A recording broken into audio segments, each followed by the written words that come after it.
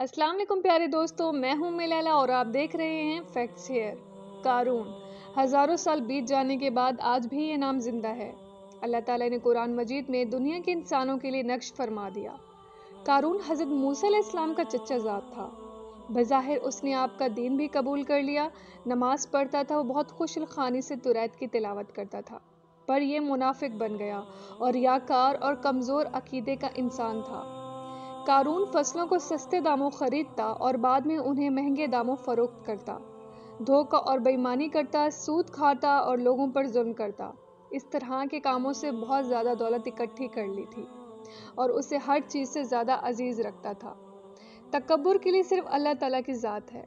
आज तक जितने भी इंसानों ने अल्लाह के सामने अपने माल और दौलत पर तकबर और गरूर किया तो अल्लाह ने उन्हें बाकी इंसानों के लिए व्रत का निशान बना दिया। कारून के साथ भी ऐसा ही हुआ।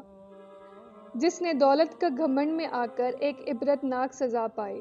इरशाद बारी ताला है, कारून हज़रत मूसा इस्लाम की कौम में से था और उन पर जुल्म करता था।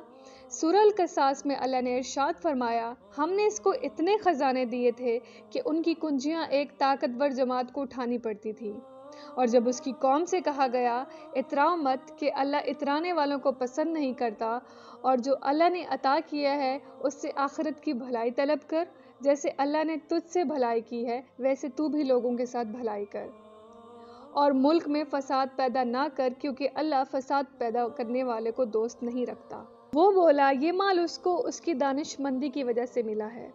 और अल्लाह ने मुझे इतनी दौलत इसलिए अता की है, क्योंकि मैं इसका मुस्तक हूँ। हालाँकि वो नहीं जानता, अल्लाह ने उससे पहले कई कौमें हलाक कर डाली जो कुत में ज़्यादा और जमीयत में बेशतर थी। अल्लाह ताला ने इरशाद फरमाया कि तुम्हारे माल और औलाद ऐसे नहीं हैं कि तुम्हें मेरे करीब कर दें, सिवाय उनके जो ईमान लाए और नेक अमल करें। अल्लाह ताला फरमाता है कि ये बात उनके दिल में डाली जाती है जो सब्र वाले हों। सूरह मोमिनीन में इर्शाद है कि कारून अपनी पूरी आरइश के साथ एक दिन उम्दा लिबास पहनकर बड़े ही ठाट के साथ अपने ग़ुलामों के साथ निकला हुआ था। उसका माल देखकर दुनिया वाले कहने लगे, काश हमारे पास भी इतना माल होता। ये तो बहुत खुशकिस्मत है कि अल्लाह ने इसे बहुत कुछ अता किया। इधर हज़रत मूसा इस्लाम खुतबा पढ़ा रहे थे। सबकी तवज्जो उसकी धूमधाम पर लग गई। हज़रत मूसा ने इससे पूछा, इस तरह कैसे निकले हुए हो?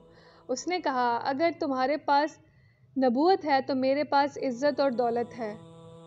अगर आपको मेरी फजीलत पर शक है तो आप अल्लाह से दुआ कीजिए, देख लेते हैं अल्लाह किसकी दुआ कबूल करता है। हज़रत मूसा इस्लाम आमादा हो गए। पहले कारून ने दुआ की तो दुआ कबूल ना हुई। हज़रत मूसा ने दुआ की, ए अल्लाह, ज़मीन को हुक्म दे। जो मैं कहूँ, वो मान लें। अल्लाह ने दुआ कबूल की और वही आई कि मैंने ज़मीन को तेरी अतात का हुक्म दिया है। ए ज़मीन इसके लोगों को पकड़ ले तो ऐसा ही हुआ। पहले कदमों तक ज़मीन में धुसा दिए गए, फिर कंधों तक, फिर हुक्म दिया इसके ख़जाने भी ले आओ।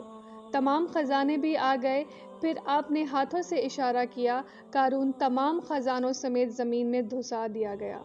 ज़मीन फिर से वैसी हो गई जैसे पहले थी। अल्लाह ताला ने कुरान मजीद में मतद जगहों पर कारून की मजम्मत की। बयान है कि हमने हज़रत मूसा को अपनी आयतें और वाज दलीलों के साथ फ़िरौन और कारून की तरफ़ भेजा। तो उन्होंने कहा, ये तो जादूगर हैं और झूठे हैं। सूर्य अनकबूत में फरमाया, फ़िरौन, कारून और हमान को भी हमने ताबे कर दिया। फ्रेंड्स उम्मीद करती हूँ आपको इस टॉपिक पे वीडियो अच्छी लगी होगी। वीडियो अगर अच्छी लगी हो तो अपने दोस्तों के साथ ज़रूर शेयर कीजिएगा। तब तक दीजिए मुझे इजाज़त, अल्लाह हाफिज़।